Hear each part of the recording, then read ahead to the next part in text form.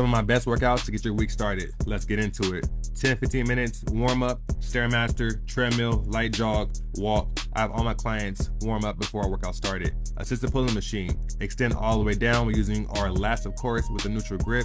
You can modify on a band and another setup if you don't have access to this machine. We have Normani, band tied to a lower post around your waist this gives you resistance going up and down through your pull through your glutes. So control down through your sumo squat, come up, and then drive your glutes forward, pulling that band away from your position. If you don't have a band, guess what? Do the same motion without the band. I've been having all my clients do this TRX motion, come up, drive, drive, and then control yourself on the way down. The hardest part, I believe, is getting into the straps and also doing the motion. So just know if you're doing this, be ready to work. Modification would be doing this on a flat ground, like a mountain climber, come up, drive, drive, and then back down and repeat. Another plank variation, we have the bands, light, medium, heavy, wrapped around our ankles or lower calf. You're gonna keep your plank still. So even your, though your body is moving or your legs are moving left and right, your body is not falling with it. Staying flat, staying engaged, and staying still. Tap left, tap right.